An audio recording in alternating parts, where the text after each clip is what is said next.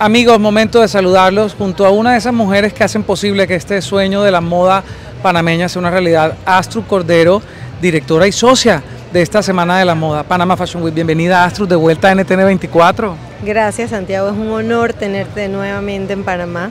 Ya habían pasado varias versiones de ausencia.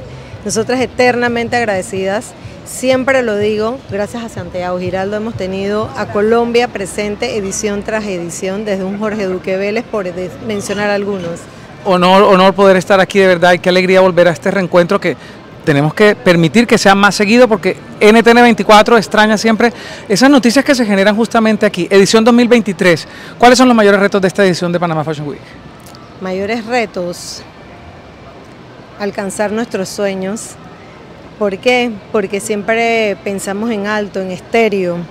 Eh, y es una industria, como todas, que tiene sus temas y logísticas y, es una labor de convencimiento a, las marcas más que nada, pero al final de, todo se ve un esfuerzo eh, concretado, un trabajo en equipo con una serie de diseñadores espectaculares nacionales e internacionales, este año con muchos nacionales que a pesar de una pandemia, hemos podido seguir generando esas plazas de trabajo que son a través de lo que genera la industria de la moda o, del arte.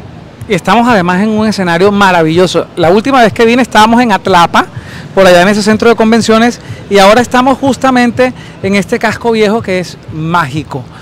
¿Cómo fue esta transformación?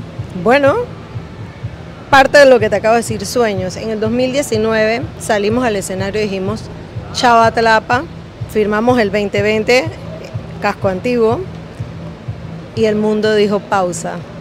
Y fue una pausa dolorosa, deliciosa, que trajo diferentes sentimientos a, a, la humanidad, pero nos hizo entender que no es cuando uno quiere, sino cuando el de arriba decide. Y nos dio un tiempo para repensar y se hizo el evento digital, el 2020, porque como dicen, ustedes son unas berracas. 2021 pues nos salimos a, Casco Antiguo y hicimos algo en el edificio de la Manzana y este año estamos por segundo año en American Trade Hotel, donde la gente, tanto los diseñadores como el público, dicen, esto me siento como si estuviera en una capital de Europa. El nivel de producción, de escenario, de ambiente, ha sido un cambio en extremo positivo. Complejo, sí, porque cada locación es un reto y cuando te aprendes la formulita, que crees que te la estás aprendiendo bien, otro cambio, pero muy felices y contentos de estar acá como estamos felices nosotros de poder estar de nuevo acá apoyando la Semana de la Moda de Panamá, que sabes que la tenemos en el corazón de este canal y nos encanta poder compartir con ustedes. Así que bienvenida siempre a esta casa. Gracias a Santiago Giraldo y a NTN 24.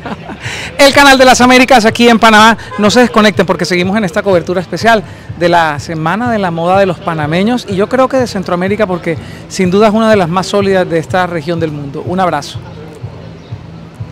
Me trae ahí.